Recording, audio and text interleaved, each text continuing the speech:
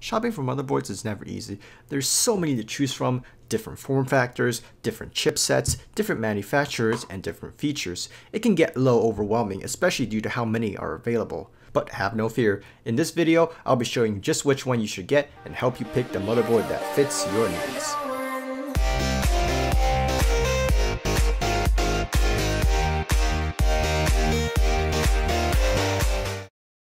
While the motherboard may not be the most expensive part of every build, it is definitely the most important. It is where everything else fits in, CPU, graphics card, RAM, etc, etc. So when you buy a motherboard, make sure you get one that fits what you need and has the features that you want. First, I'm going to talk about form factors. There's Mini ITX, Micro ATX, and ATX and extended ATX. Now these are the four most common form factors you'll come across when it comes to motherboard and each of these will fit accordingly to the case. So you can't fit an ATX motherboard in a micro ATX case or a smaller one such as a mini ITX case. However, you can fit a smaller motherboard in a bigger case. Now personally I recommend you get the biggest motherboard you can fit inside your case because generally speaking smaller motherboards are more expensive and or have less features and if you can fit an ATX motherboard there really is no sense trying to buy a smaller micro ATX board. It'll just look bad, you have a lot of empty space, and you'll miss out on a lot of features. The next thing is the chipset. Now for LGA1151, there are a couple of chipset. The most basic one is H110M, and then there's the B150, there's the H170, and then there's the Z170, and also the C232. Now, each of these chipsets are designed for different purposes. The H110 is designed to be the ultra low budget chipset that really doesn't come with anything fancy such as overclocking, SLI, M.2, most of them won't have that. USB 3.1 is a hit or miss, most of them won't have it. It's just the most basic motherboard you can get for an ultra budget build. Let's say you're building a HTPC or a very, very low budget PC, H110M is the way to go.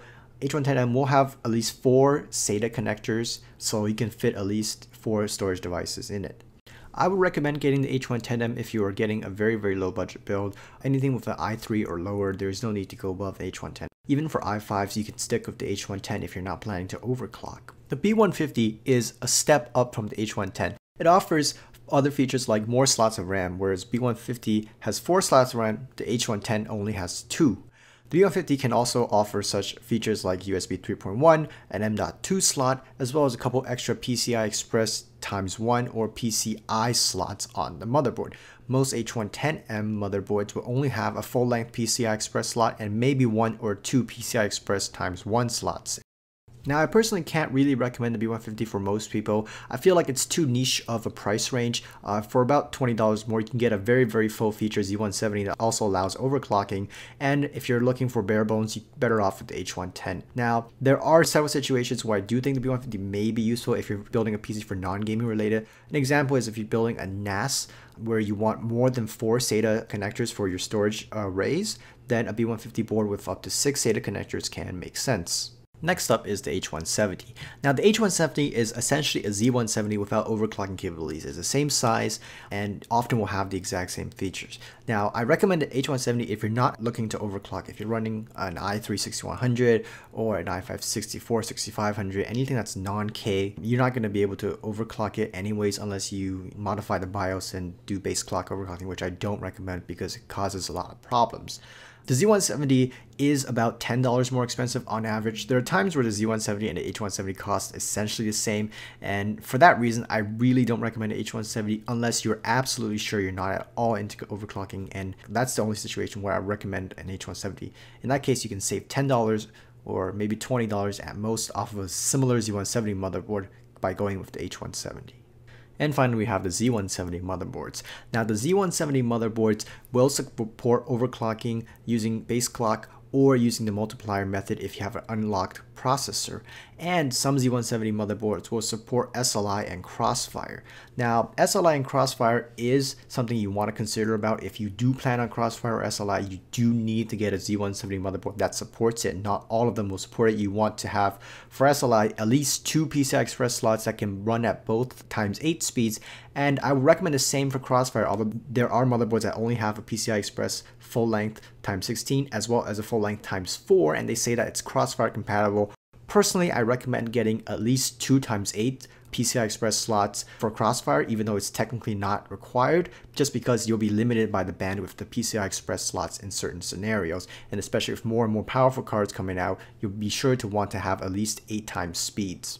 And finally, the chipset that few mentioned is C232. This is mostly for Xeon support. If you're running for a server, for example, then get a Xeon and a C232. They're probably better because Xeons are lower clock speed individually, but have more cores and threads. So you have a better overall performance in very well multi-threaded tasks, such as server-related tasks. However, these are very, very terrible for gaming because of their low individual single core clocks. And I don't recommend picking up a Xeon for gaming unless you know what you're doing. Now let's talk about the individual features more specifically on the motherboard themselves. We'll be starting off with PCI and PCI Express slots. Now these are the slots you will see on the motherboard. They can be anywhere from very small uh, 1x to the full length 16x slots. Now the full length ones are mostly meant for graphics cards or SSDs that are PCI Express compatible. All motherboards that are Skylake, uh, doesn't matter if it's H110M or doesn't matter if it's Z170, will have at least one full length that is PCI Express times 16 slot that is compatible for a graphics card. So you don't need to worry about one that supports graphics card, all of them will support it. However, if you're looking to have a Wi-Fi adapter, anything else that requires PCI Express connection, then you make sure you have the appropriate slots, whether it's 1x or for 16x for what you need. Now, most Wi-Fi adapters are 1x. You don't really need anything more than a very small PCI Express slot for your Wi-Fi adapter, and you usually only need one.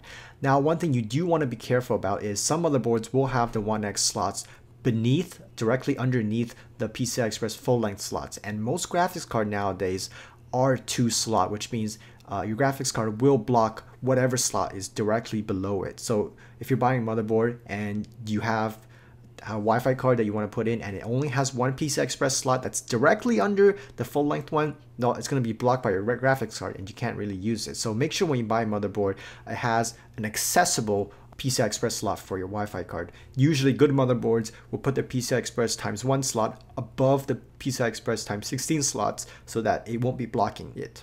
Now PCI slots are a bit more old. There are not a lot of new technology that really requires PCI. The closest thing you would need is probably a sound card. For example, you have like an Audigy sound card from a couple of years ago and you want to use it over the onboard motherboard sound, which have been pretty good recently, uh, then you need a PCI slot, not a PCIe slot. And a PCI slot basically looks like a PCI Express times 16 slot, but backwards. You flip that around. Some motherboards will have them, some will have two, some will have three, which I think is a bit of an overkill. These are being phased out, and honestly, I wouldn't recommend buying like a Wi-Fi card that uses PCI because these are not going to be supported in the future. And there are already motherboards that don't have PCI slots. So make sure if you want a sound card, pick a motherboard that has a PCI slot.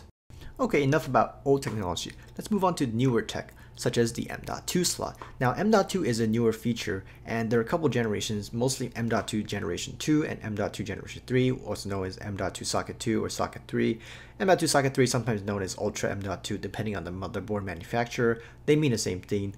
You want the fastest current one because that's the one that supports NVMe SSDs. That's right, NVMe SSDs fit into the M.2 socket and can give up to 32 gigabit per second bandwidth, which is about 4 gigabyte per second uh, read and write speeds, which is incredibly fast. Now, the fastest current M.2 SSD is the Samsung 950 Pro, and it can use up to about 2.5 gigabytes of that bandwidth, which comes actually quite close to the full 32 gigabit bandwidth and is definitely more than what the normal SATA 6 gigabit per second can handle. So if you want to have an ultra fast SSD such as a boot device, then make sure you pick a motherboard that has an M.2 slot and make sure it is M.2 generation 3 or Ultra M.2 for the full 32 gigabit per second bandwidth.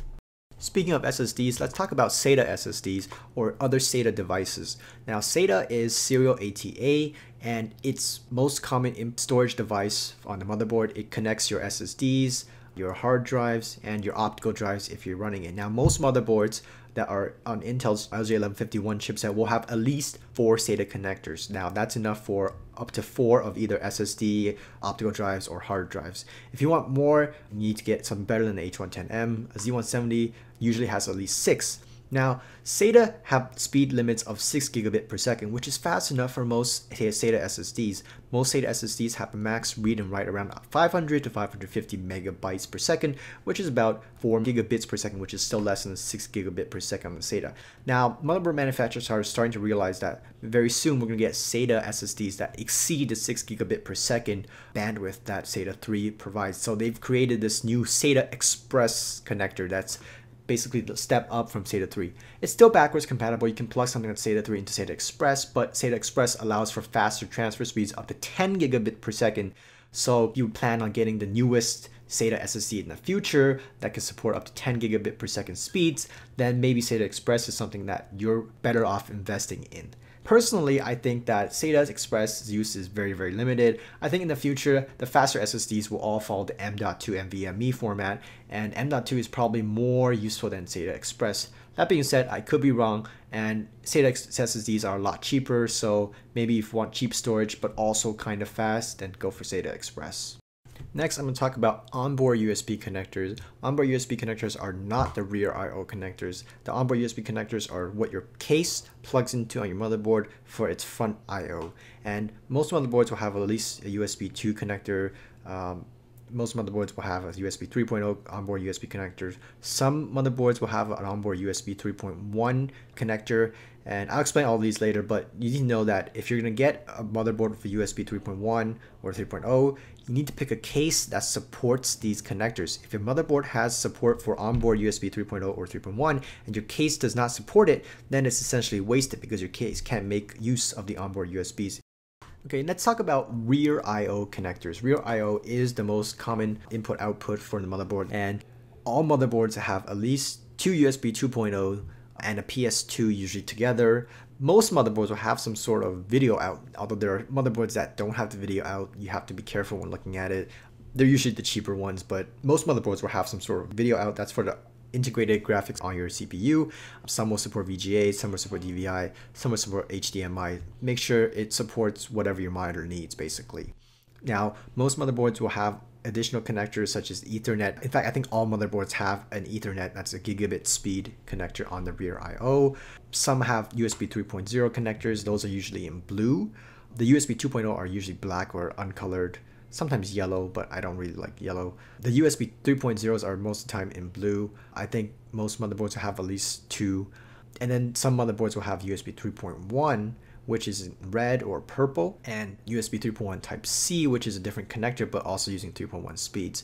Now, if you care about 3.1, then you might want to pick a motherboard that supports it. USB 3.1 is 10 gigabit per second transfer speed, whereas USB 3.0 is only 5 gigabit per second transfer speeds. Now, what really needs that much bandwidth? The only thing I can come to my top of my head is maybe an external SSD. I know Samsung makes a USB 3.1 external SSD um, that can be used for large transfer of a lot of data from one machine to another at very, very high speeds at about 500 megabytes per second. So you make sure you have a USB 3.1 for that uh, if you're going to be using it. As for many other things, mouse and keyboard obviously don't need even USB 3 speed. Most of them are fine USB 2. Uh, a USB flash drive may use USB 3.0, but I don't think it'll use 3.1 yet. For the most part, 3.1's usefulness is not that pronounced as of yet, but in the future, especially with Type C, it could be useful. So that might be something you want to invest into.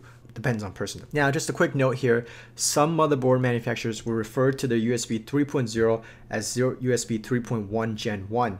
These are essentially the same thing. Do not get fooled into this. Uh, if you see if you see USB 3.1 and you want to make sure it has a full 10 gigabit per second, uh, make sure it's talking about USB 3.1 Gen 2. And if you're not sure, go down to the details page or even contact the motherboard manufacturer or through the website. Make sure you get the right one because I know MSI, for example, advertises their motherboards as being USB 3.1 when in reality, a lot of them are just USB 3.1 Gen 1 connectors, which are the same speed as USB 3.0. So sometimes you might get tricked by that. Just something to be looking out for. Some higher end motherboards will have onboard Wi-Fi and that goes where the normal I.O. would be. It's built-in Wi-Fi and it's fairly good. Not all motherboards will have this. In fact, most motherboards will not have onboard Wi-Fi. You usually have to pay a premium for it. If you do have onboard Wi-Fi, make sure you put the antennas in the right positions and set that up accordingly because once you put it in the case, it becomes very, very difficult to set up. This is especially valuable for mini ITX motherboards. Uh, a lot of them will have onboard Wi-Fi just because mini ITX motherboards usually will not have enough room for an external Wi-Fi adapter that's not USB based. So if you're looking into a mini ITX build and you want a Wi-Fi adapter, chances are you're gonna have to get a motherboard that supports onboard Wi-Fi.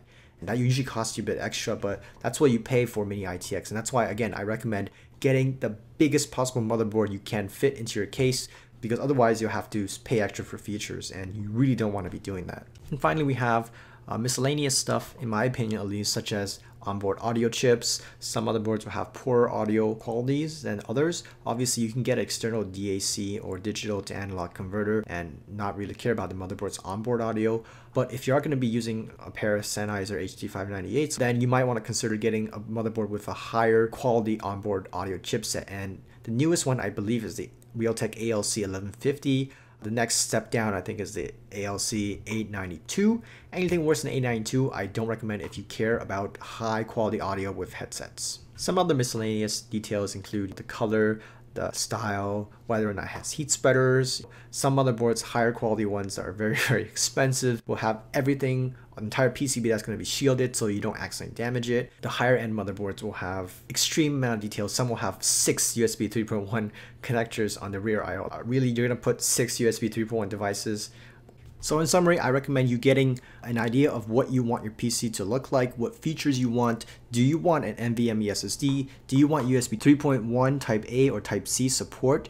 Do you want integrated Wi-Fi? Are you going to be using a Wi-Fi adapter? Are you going to be running Crossfire or SLI? Are you going to be overclocking your CPU? Are you going to be listening to high quality music with your expensive headset? All of these things are things you need to consider and I can't really tell you what to buy. But once you consider all these things, then hopefully you can use that knowledge to pick out what you need and find a decent motherboard at a decent price that has all the features you want because that's at the end of the day what you want to do. You want to find the cheapest motherboard that has all the features that you want and go with that. That sums it up for this video. If you enjoyed it, be sure to leave a like and subscribe to my channel. If you didn't, be sure to leave a dislike and tell me in the comment section below why. And as always, thank you for watching and have a great day.